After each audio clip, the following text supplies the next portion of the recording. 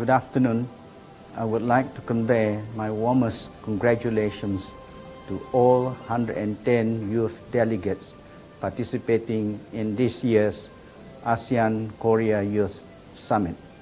Since a third of, of the region's population is below 34 years old of age, investing in the younger generation is key to developing an inclusive, sustainable, resilient, and dynamic future.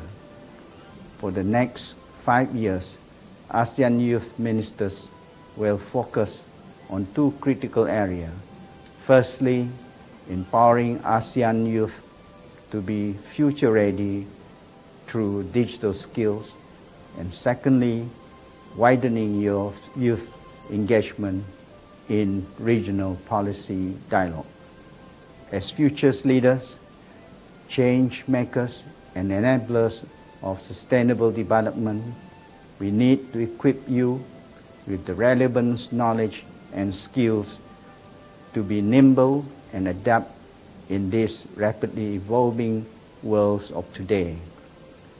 This summit reflects our collective commitment in strengthening cooperation in the youth sector and as identified in the shared priority from the ASEAN Korea Commemorative Summit held last year in Busan. The ties that bind ASEAN and Korea are deep and enduring.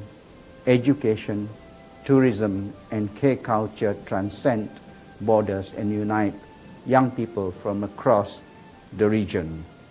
Going forward, maintaining peace and prosperity in the ASEAN Korea community will be anchored upon our deeper cultural bond and people to people exchanges and connectivity develop, develop between our youth of today.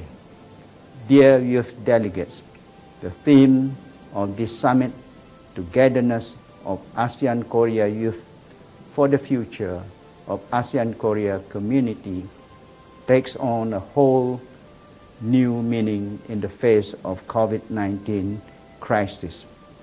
The pandemic has significantly changed our life and impacted our communities in ways we have never seen before.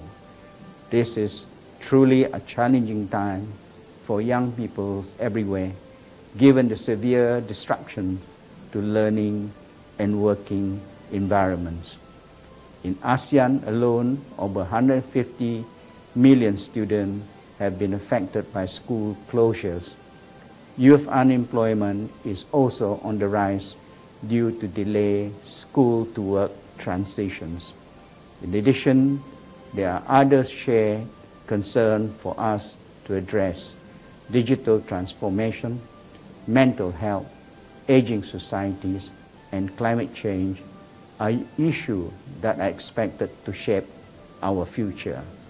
During this summit, I encourage you to engage openly with one another in brainstorming creative solutions to this pressing issue. I also urge you to use this space to exchange views and ideas on collaborating and contributing more meaningful to the development of the ASEAN Korea community. Most importantly, I hope that you will build new and long-lasting friendships to support each other through this time of shared crisis. I would like to close by thanking the Ministry of Gender Equality and Family of the Republic of Korea, the National Council of Youth Organizations in Korea, and the ASEAN Universities Network for jointly, jointly organizing this meaningful event. I wish you a successful and memorable Youth Summit. Thank you.